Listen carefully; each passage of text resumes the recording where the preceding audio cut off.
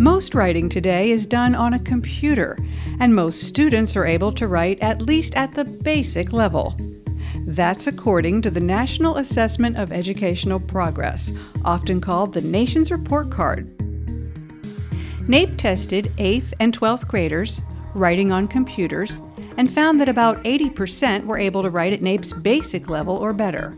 However, the policy goal is proficient, and less than a third of students at both grades could write that well.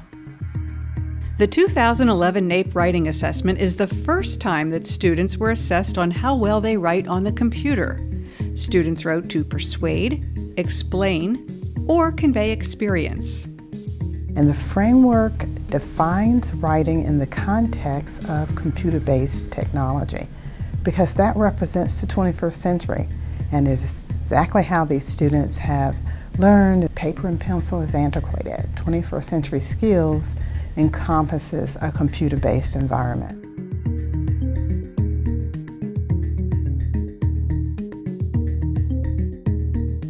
Asian American students and white students scored above their black and Hispanic peers in both grades.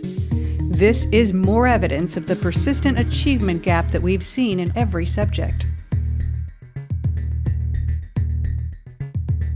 Girls continue the pattern we see in other writing assessments scoring higher than boys. Higher scoring students used computers to write more often than their lower scoring peers. We do know that students uh, with exposure to technology at home or in school or um, who may be using this type of technology uh, to write in their classes do better than students who do not have exposure or have access to this technology. And interesting enough, this is uh, true regardless of the child's socioeconomic background is measured by their uh, eligibility for free and reduced price lunch. That's important to know. Eighth graders might be asked to imagine themselves on a lost island and to write about it as if from personal experience. 12th graders could be asked to write a college essay explaining the value of technology and how it affects their everyday lives. NAEP tracked student interactions with the computer and observed how often they engaged with common computer tools for editing, formatting, viewing, and reviewing.